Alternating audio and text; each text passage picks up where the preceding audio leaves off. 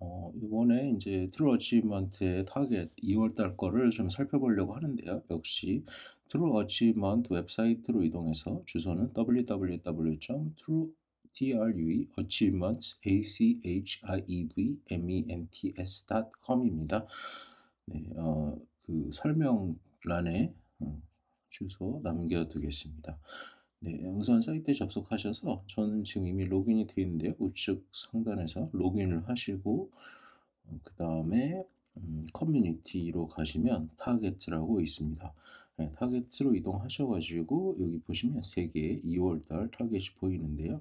2월 어, 그, 나, 더 작다 기호 삼. 네, 보통 요거를 그 사랑한다라는 하트 모양, 옆으로 보면 하트 모양이라고 요렇게 표현을 하죠. 그거랑 이제 발렌타인데이가 있어서 아마 저렇게 한 것 같습니다. 그 다음에 이제 2월 카플 타겟 역시 발렌타인데이니까 커플, 네, 커플 사랑 이런 느낌으로 한 것 같고요. 그리고 이제 마지막으로 좋은 게임 타겟 네, 이렇게 세 가지가 있습니다. 네, 그래서 각각의 target을 원래는 이제 따로따로도 하고 싶은 것만 어, join을 해도 되는데요. 여기 이제 join all target 모든 target을 한꺼번에 join하는 게 있으니까 우선 join을 한 다음에 각각의 target을 좀 살펴보도록 하겠습니다. 음, 네, 2월 이제 love target을 보면은 네, 여기 True Achievement 차이 difference가 3 이하인 게임을 해서 도전 과제를 획득하기 요게 조건입니다. 그래서 동메달은 8개, 은메달은 16개, 금메달은 28개인데요.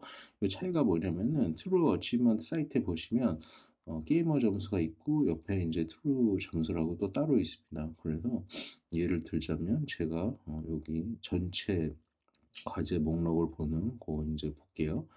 눌러보시면은 예를 들어서 Pimp My Sidearm이라는 도전 과제, Grand Theft Auto 5에 있는 도전 과제인데요.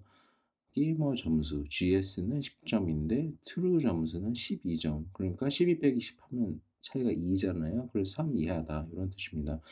어, 요거는 왜 이런 차이가 나오냐면 그 각각의 True Achievement 공식에 따라서 어, 그 과제를 획득한 사람 수 나누기 전체 뭐 사람 수 뭐 이런 식으로 해가지고 계산하는 식이있는데 그거를 이제 더 어려운 도전 과제다, 더 쉬운 도전 과제다 뭐 이런 식으로 판단을 하는 건데요.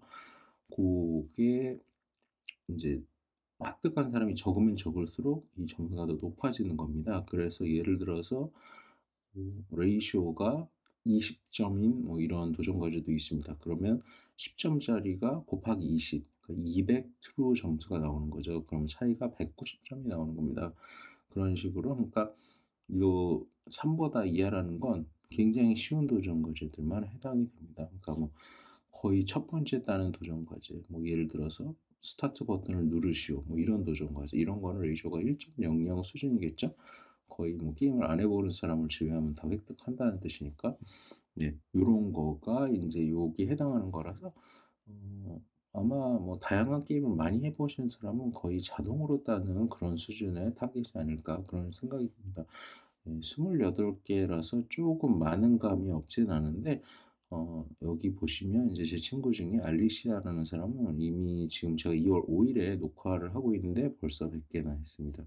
네, 그래서 뭐 그렇게까지 어려운 건 아닌 것 같다라고 생각이 듭니다. 네, 커플 target. 커플, 커플 target은 뭐냐면 지금까지 음, 몇개 이런 비슷한 target이 있었는데요. 뭐 Sonic target이라던가 뭐 그런 target을 보시면 Sonic이라는 단어가 들어가 있죠. 어, 지난달에도 해피 뉴 이어 타겟이 있었죠. 그래서 happy new라는 단어나 이어가 있는 그런 거에서 과제를 그런 게임에서 과제를 따거나 과제 자체에 그런 것들이 포함되어 있는 예, 동일한 개념입니다.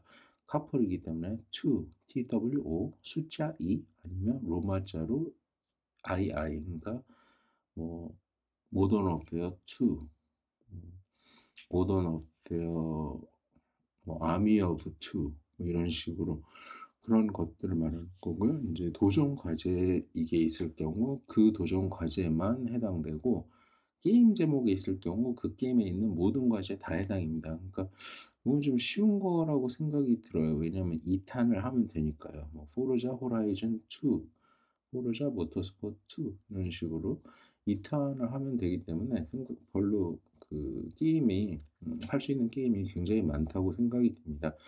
네 조건을 6개, 12개, 20개를 하면 금메달. 예 마지막으로 good game. 예 good game이라는 거는 굉장히 주관적인 부분이 있습니다. 네 그렇기 때문에 어 여기서 판단을 어떻게 할 거냐면 true 점 그 평가를 할 수 있어요. 게임들을 평가할 수 있는데 어 4 개 4 점 이상 그러니까 5 점 점수를 평가를 하거든요. 사용자들이 직접 평가를 하는 건데 고게 4 점 이상 예를 들어 어떤 게임이 있는지 한번 살펴볼게요.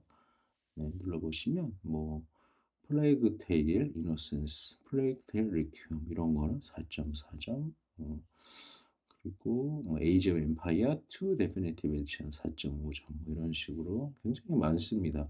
게임이 많기 때문에 음 이것도 거의 아마 Game Pass에 있는 게임을 하면 거의 다 해당되지 않을까 그렇게 생각이 듭니다. 네요 목록을 참고해서 하시면 되고요.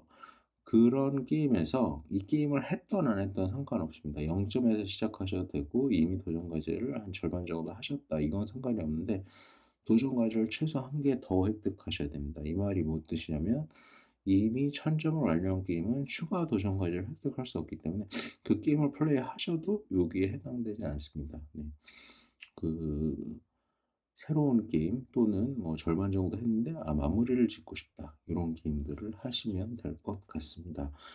네. 어 2 월도 뭐 상당히 재밌고 또 새로운 게임을 이제 good game challenge를 하다 보면 새로운 게임을 발견할 수 있게 되지 않을까. 그래서 어 재밌을 것 같습니다.